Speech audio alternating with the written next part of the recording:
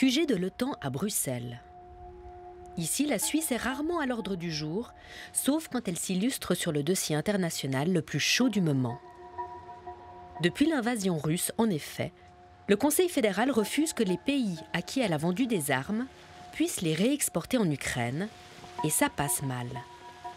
Alors ce mardi, difficile d'y voir une coïncidence de calendrier, une délégation suisse est conviée pour deux jours de visite. Les médias, eux, sont priés de rester à distance. Il est un peu plus de 18 heures quand les cinq membres de la commission de politique de sécurité des États rentrent à leur hôtel. Et la journée a visiblement été chargée. Ce juillard, ça s'est bien passé aujourd'hui? Très bien, très intéressant. C'était une journée marathon. euh, Vraiment, euh, voilà, on n'a pas arrêté, on est, on est fatigué, je crois. Vous avez parlé des sujets chauds du moment ou- Bien sûr, Ouais. oui, c'était c'était le but, oui. Et les réexportations, tout ça, ça a été sur la table Notamment, absolument. Céline Vara et Charles Juillard sont les deux romans de la délégation. Mais sur la question de la réexportation des armes en Ukraine, tous les opposent. On est en guerre, mais c'est pas une situation exceptionnelle. Nous, on n'est pas en guerre. hein. Suisse n'est pas en guerre. L'Occident est en guerre pour défendre ses valeurs, la démocratie, la liberté, les droits de l'homme. Si ça, c'est pas une raison fondamentale et suffisante pour euh, participer à cette solidarité internationale, moi, j'y comprends plus rien. hein. Il faut quand même rappeler qu'au travers de sa neutralité, la Suisse offre ses bons offices, fait du droit humanitaire. La Suisse construit la paix. Euh, elle elle ne- elle n'alimente pas la guerre. On fournit pas directement d'armes, pas directement de munitions, pas directement de troupes. Après, il appartient au pays qui les a reçus, qui les a achetés, de faire so- sa propre pesée. Mais il n'est pas en train de parler d'exporter des pommes, tu comprends? Ben C'est des ben- armes, ça ben sert oui. uniquement à tuer des gens. Bon, quoique Guillaume Tell. euh, Ouais. Si on veut remonter. euh, Non, mais j'attends, c'est- c'est- on peut parler de la neutralité aussi. Neutralité, le mot est lâché. Point cardinal de l'identité suisse, c'est ce qui rend le débat si douloureux pour les parlementaires. Ce soir, ils s'accorderont peut-être une trêve lors d'un dîner à la mission suisse. Mais demain, les discussions reprendront, car la pression internationale reste à son paroxysme et pourrait bien émousser notre neutralité.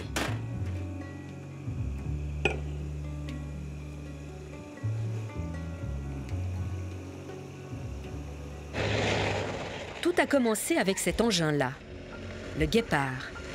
L'Allemagne en a livré une cinquantaine à l'Ukraine au printemps dernier. Récemment, il a permis d'abattre un missile russe. Selon cette vidéo partagée le 5 décembre dernier. Mais pour comprendre comment la Suisse est impliquée dans cette affaire, il faut quelques notions militaires. Alexandre Vautravers est spécialiste des troupes blindées, lui-même conducteur de chars. C'est un char de défense contre avion Guépard, euh, donc euh, une série d'engins qui ont été construits dans les années 1970.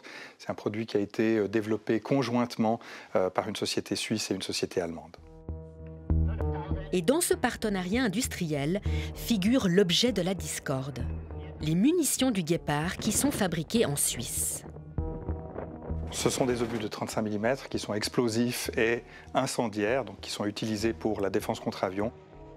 Conformément à notre loi, l'Allemagne n'a pas le droit de réexporter du matériel suisse. Elle a donc demandé à Berne de lever l'interdiction pour ses 12 400 munitions. Le Conseil fédéral a dit niet. Un char guépard sans munitions, ça ne sert à rien? Ça ne sert à rien, euh, en disant, euh, en ajoutant peut-être le fait qu'un char Guépard avec euh, 12 000 obus, ça ne sert à pas grand-chose parce qu'avec ces deux canons, vous tirez euh, 1100 coups à la minute. Pas de quoi changer le cours de la guerre, donc. Pourtant, l'Allemagne a réitéré sa demande. Elle en fait visiblement une question de principe. Il faut dire qu'elle aussi est sous pression. La semaine dernière, elle a finalement dû lever la clause de non-réexportation qu'elle-même appliquait à la Pologne sur ses chars léopards. Alors pourquoi la Suisse n'en ferait pas autant? Les Européens se mettent au diapason et pour le faire savoir, la tenue du Forum économique de Davos tombait à pic cette année. Le secrétaire général de l'OTAN lui-même s'est déplacé pour faire passer le message.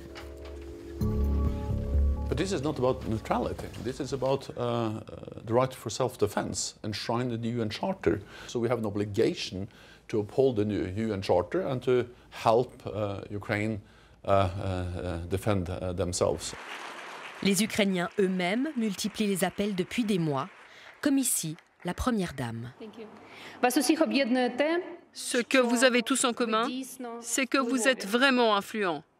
Mais il y a quelque chose qui vous sépare, à savoir que vous n'utilisez pas tous cette influence. Lors de la dernière session parlementaire, une délégation de la société civile ukrainienne s'est rendue à Berne. Parmi elles, cette femme. Bonjour Olena. Olena Alouchka travaille pour une ONG à Kiev. Elle a rencontré personnellement nos parlementaires. And you met some Swiss deputies? They told us that um, Switzerland is right now considering um, the legislative initiative which might allow the re export. And we obviously encouraged them to move forward with it because it is about saving innocent lives. If you had the Swiss president Alain Berset in front of you now, what would you tell him? Russia has broken the world order. We know how important this is for Switzerland. The noble thing to do is to try and stop perpetrator and if there are no effective tools and instruments right now, they should be invented. They should be installed. Thank you very much. Mais à ce jour, malgré les demandes de l'Allemagne, du Danemark et de l'Espagne, le Conseil fédéral refuse toujours la livraison d'armes à l'Ukraine. La question de la réexportation du matériel de guerre, ça c'est une question sensible. Et il nous a semblé, jusqu'ici en tout cas, qu'on devait être très très prudent euh, avant de relire la question des exportations euh, d'armes euh, sous un nouveau jour, parce qu'on est sous la pression d'une guerre qui se déroule sur le continent européen. Parce Alors face au statu quo, le Parlement, lui, s'agite. En première ligne, le centre. Le parti veut une loi d'urgence pour que le Conseil fédéral puisse agir tout de suite. Car depuis le début de la guerre, le président du centre, Gerhard Pfister, n'en démord pas, il faut soutenir l'Ukraine. Pourquoi la Suisse livre des armes à l'Arabie saoudite, mais refuse qu'un pays européen puisse se défendre et ainsi nous défendre avec des munitions suisses Et contre toute attente, la gauche a renchéri. Le PS propose d'autoriser la réexportation en cas de violation condamnée par l'ONU, ce qui est le cas de l'Ukraine. Là, maintenant, il fallait évoluer dans cette position. Euh, euh, je pense qu'on ne peut pas empêcher les, nos, les, nos, nos pays alliés d'être solidaires avec l'Ukraine, finalement. La proposition a connu son heure de gloire il y a dix jours en commission de sécurité du Conseil national. N'empêche, elle en a déstabilisé plus d'un au sein du parti. Ce mardi à Carouge, c'était soirée porte à porte pour les militants socialistes en vue des élections genevoises. Ouais. Bon alors du coup, Elisabetta et moi, on va là-bas, puis vous, vous faites celui-là. Ouais. À toutes Elisabetta Marchesini et Thomas Bruchet, 25 ans, sont les benjamins de la liste. Ce dernier est aussi vice-président de la jeunesse socialiste et bien sûr, membre du groupement pour une Suisse sans armée. J'ai vite, j'ai fini à 18h38. 18h49, j'avais fini. Autour de la table, les deux camarades sont sur la même ligne. Pour eux, en acceptant la réexportation des armes, le parti trahit ses valeurs. J'imagine qu'on s'est vraiment retrouvé dans une, enfin, le PS s'est retrouvé dans une situation vraiment assez embarrassante où en fait il faut choisir entre bah, céder à la droite et juste bah, prendre une position qui est super embarrassante et très compliquée à gauche et faire ce qu'ils ont fait quoi. Il y a aussi une forme de naïveté dans, quand on dit ah oui mais c'est ce...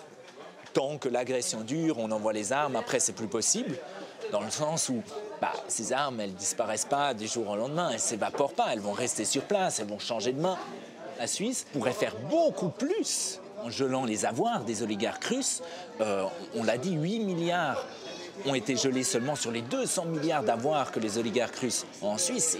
Ridicule. Quand on voit qu'on a des parlementaires qui, euh, se, qui au bout d'un moment, acceptent de céder d'une certaine façon face à la droite et qui acceptent la réexportation d'armes vers l'Ukraine, c'est sûr que nous, en tant que socialistes, en tant que personnes de gauche, ben, on, est un peu, euh, on reste un peu sans voix pour pas aller trop loin dans l'expression.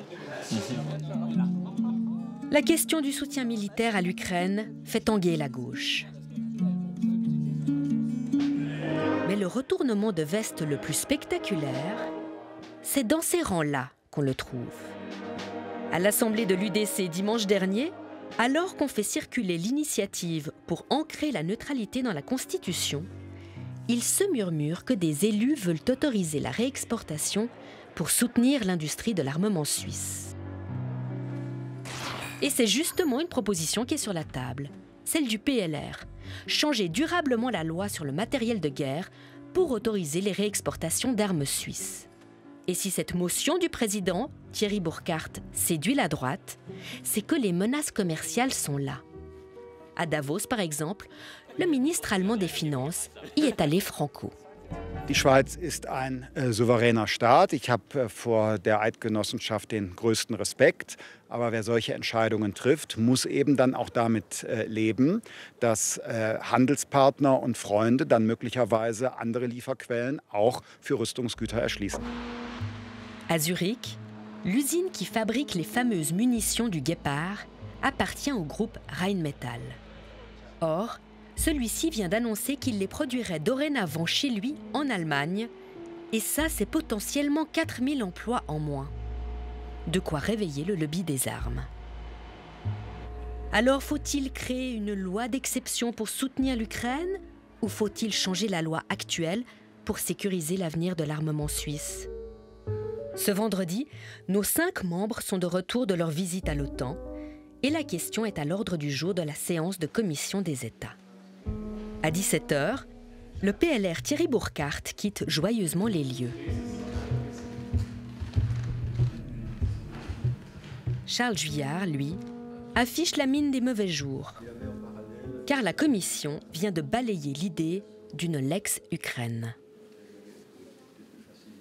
C'était une longue journée, en effet, qui ne s'est pas tout à fait déroulée comme je l'ai souhaité, mais enfin, nous sommes arrivés bientôt au terme de la journée. La Commission a opté pour un changement de loi durable qui autorise la réexportation aux pays qui ont un régime similaire au nôtre. La question ukrainienne est évacuée, la neutralité Du côté de, l'OTAN, euh, le résultat risque d'être euh, pas celui qu'ils attendaient, certainement. Euh, nos interlocuteurs à Bruxelles ont toujours dit on comprend votre neutralité, on comprend, mais on est aussi vraiment dans l'attente de la décision que vous allez prendre concernant la réexportation du matériel, ce qui était quand même un appel du pied assez fort pour dire mais faites cet effort de solidarité avec nous. À l'issue de cette folle semaine, l'industrie de l'armement suisse peut nourrir l'espoir qu'au terme des débats au Parlement, elle exportera plus facilement ses armes. Mais dans l'immédiat, l'espoir de l'Ukraine, lui, reposera sur les aides humanitaires et non militaires de la Suisse.